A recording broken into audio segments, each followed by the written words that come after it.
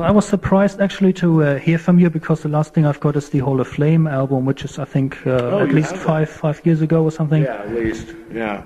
Yeah, So what have you been doing all this time? Then? Trying to get this record out. Trying to put this band together and get out get out on the road. So that's basically just spent a couple years building a studio and writing material and trying to put this project together. You had a studio of your own. Yes, that's where we recorded the album. Uh-huh. And uh, basically just doing that, and then the past six months putting it together, get ready to, getting ready to tour, getting the deal here in the, here in Europe, and uh, just getting over here and start touring it like crazy. You got a worldwide deal or just for No, Europe? just for Europe right now. Yeah. Just for Europe right now. We're working on the States, but the music business is really screwed up there right now, so it may take a while. They're trying to recuperate right now from grunge, so Yeah. you know, try to kick it in the ass a little bit, see what we can do with some hard rock, you know, bring it around to a, a somewhat of a normalcy, if you can say that in rock and roll. Yeah. Yeah. The, where you're based is this in uh, Seattle still or East Coast now? No, we're in uh, Seattle, basically, Yeah. a little south of there, but yeah.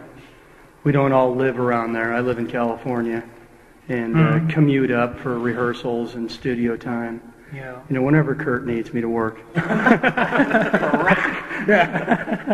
to come up now. You know, All right. and I'm always willing to quit my day job if need be. Yeah. That's Whatever good. that is at the time. Yeah. Okay. Uh, so uh, probably you didn't play uh, live uh, so many times yet.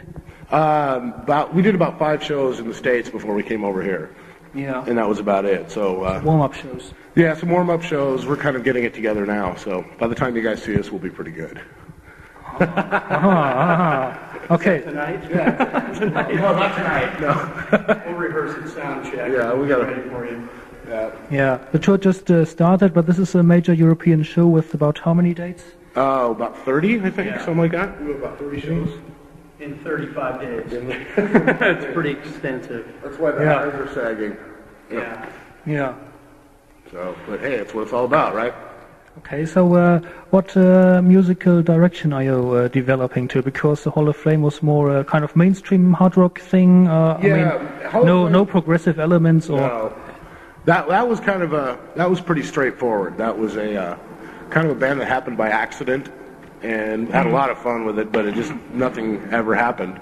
You know, we did we got the record out, and uh, then we basically, you know, did some touring with ZZ Top and Blue Oyster Cult, and got home, and it was two years of nothing, and we could never figure out what happened. So basically, time to move on, and I just decided to do this project.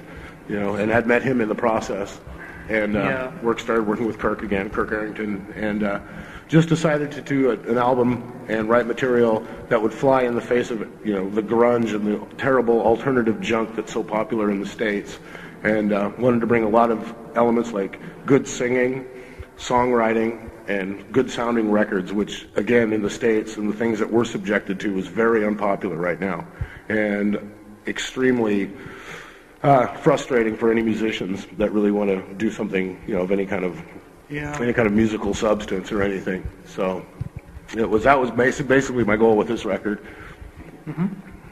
And uh, how are the reviews? So far, the reviews have been extremely good, and that is really that's amazing. I mean, I didn't know how well this album was going to be received. I know a lot of people were expecting a metal church record, and it's it's not it's not a metal church record. It's not not even really heavy metal.